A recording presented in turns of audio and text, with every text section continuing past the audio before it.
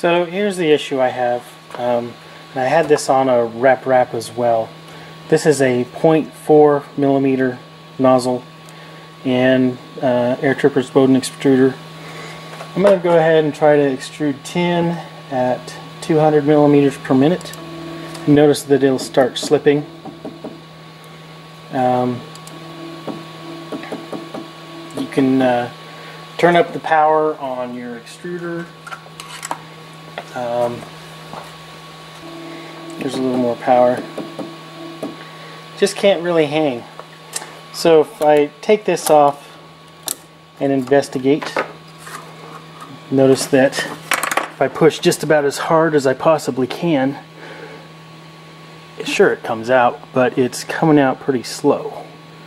And I can crank up the temp anywhere between uh, 170 to 240 and it really does the same thing no matter what. So um, a few things can cause that. You could have something obstructing it or you could have an extruder jam. Uh, one of the ways to help prevent an extruder jam is to put a cooling fan. Uh, in this case the cooling fan does absolutely no good. So the hot end is a J-head. This is a very professional looking one. It's got a, a cartridge type heater in it looks very nice. Um, I purchased it on eBay. It's called a J-Head MKIV MKV hot end 0.4 millimeter nozzle for 1.75. So this is a hot end from RP1 Labs. Um, I know they have a store on eBay. I'm not sure where else they have a website, but anyway.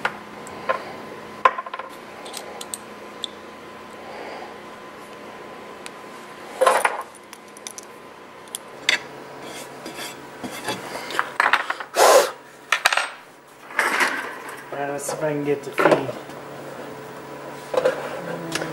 Here is a hot end from Tri-D Printing.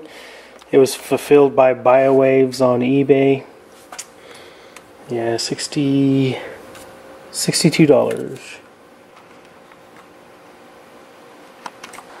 Here are the parts, thermistor, uh, insulation, the resistor,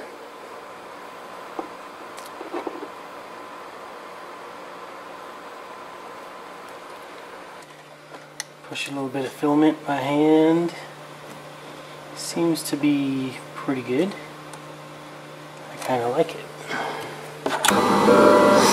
So my Tri-D printing uh, 0.4 millimeter hot end. I'm pretty happy with it so far. I'm certainly printing faster within it with it than my Chinese clone was able to do or even this one, which I was kind of disappointed because I wanted the interchangeable nozzle, but I just couldn't push the plastic through fast enough.